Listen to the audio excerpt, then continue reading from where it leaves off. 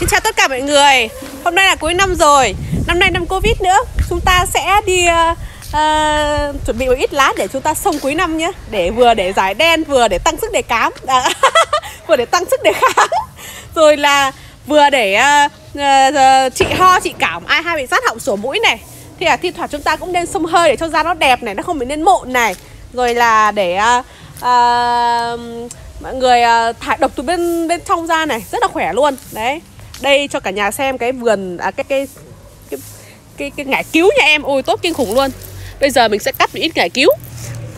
Đấy ngải cứu này là mọi người cứ cắt tận gốc nhá. Cắt tận gốc là để cho nó đâm đâm ra cái nhành mới. Đấy cắt tận gốc như này. Cắt gốc luôn. Đâm cho nhành mới. Mọi người đứng cắt lưng lửng lửng nhá là nó nhanh nó nó nó, nó chết ấy. Mọi người phải cắt tận gốc này này. Này cắt tận gốc. Đấy nhà em được cái là rất là nhiều ờ, rau củ quả. Em về nhà là không sợ chết đói. Về nhà là mẹ nuôi. Cả nhà này cắt tận gốc luôn. Đó. Đây mình đã cắt vừa cắt xong được uh, ít bó uh, ngải cứu rồi nhá. Bây giờ mình đi tìm xem trong vườn còn ít lá tía tô nữa không nào? Nhà vườn trước trồng lá tía tô nhiều lắm mà đâu hết rồi nhỉ? Chưa hết thì sao ấy? Đi vặt ít lá tía tô nữa để cho vào để mình xông cho thơm đó rồi hết lá tía tô rồi. Thì cho cái gì vào bây giờ? Hết tía tô rồi các bạn ạ. Mình sẽ chuẩn bị một ít gừng này. Gừng này xả này tía tô này cải cứu này chanh này bưởi này. Lá à, à hương nhu này xả này gừng này. Đây mình sẽ đi tìm. Đây mình sẽ đi à, đào gừng nhá. Gừng này nhà mình mua về đấy. Nhưng mẹ mình à, vùi xuống cát. Ủa, Gà là cái to thế. Nhà mình vùi xuống cát như này cho nó tươi các bạn ạ, Đấy. Các bạn cũng thế nhé Nếu mà muốn gừng tươi, bạn vùi xuống cát như này này. Ui, để tươi thoải mái luôn, Mà không sợ lên mầm đâu. Mà lên mầm thì trồng luôn Này có cây mới, Đấy. Đây là gừng này, Đây là Đấy, Gà thì mình gáy hơi to luôn. Đấy, pháo đốt rồi đấy. Đây, mình đã chuẩn bị đây các bạn nhìn này. Đây, một nồi xước sông này hồng hòm rồi. Này là là đảm bảo là khỏi cảm luôn. Ai bị ừ, ngạt mũi hoặc mệt người cảm bắc không khỏe là mọi người cứ định kỳ ờ, một tháng xong hai lần để cho vừa da vừa đẹp còn khỏe này. Đây là bưởi diễn này mùa này bưởi diễn rất là, là rẻ luôn mọi người mua 10 nghìn một quả bưởi diễn.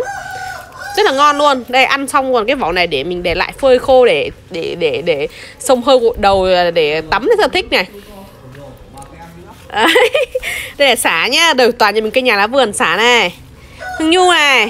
Cái này đủ đủ hòm rồi các bạn ạ. Đây hương nhu này xả này bưởi này gừng này Ờ, ngải cứu này chính ra có tí tô nữa thì tốt nhưng mà thôi không có không sao cả. Lá húng chanh ơi tuyệt vời. Đấy bây giờ mình sẽ chuẩn bị đồ nước sông nhá. Mọi người cho vào hai lít hai lít nước. Đấy chúng ta sẽ rửa sạch những cái uh, nguyên liệu này. Xong rồi chúng ta cho vào cái nồi nước nhá. Mọi người nấu một cái nồi nước to. Đấy mọi người cho ít ít nhất là hai lít nước. Ba lít nước tốt nhất đây cho cái nồi to như này. Đấy nồi to này.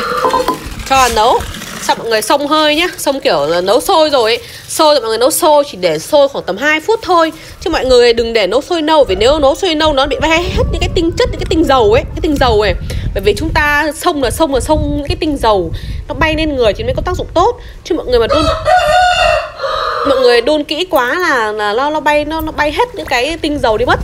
Người rửa sạch xong rồi cho vào trong ờ, ấy nhá trong ờ, nồi nhá củ gừng thì mọi người đập dập thôi nhá. Mình lấy chảy đập dập ra.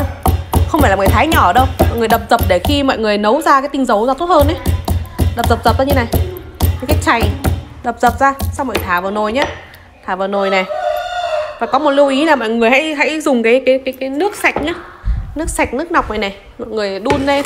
Sao mọi người đun sông lên. Có một cái lưu ý rất là quan trọng này. Mọi người chỉ đun sôi cái nước này khoảng tầm uh, Ờ, uh, 2 phút thôi là mọi người bắt ra. Và trong quá trình nấu mọi người tuyệt đối không được mở vung ra nhé bởi vì mở vung ra sẽ bay hết tinh tinh dầu mất. Đấy xong mọi người xông xông mọi người phải xông truyền thống xông xông uh, ờ, chùm chăn ấy.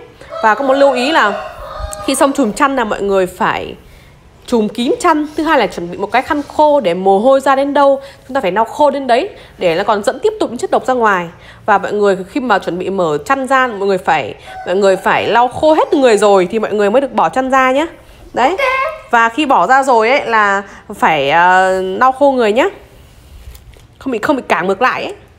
Rất là nguy hiểm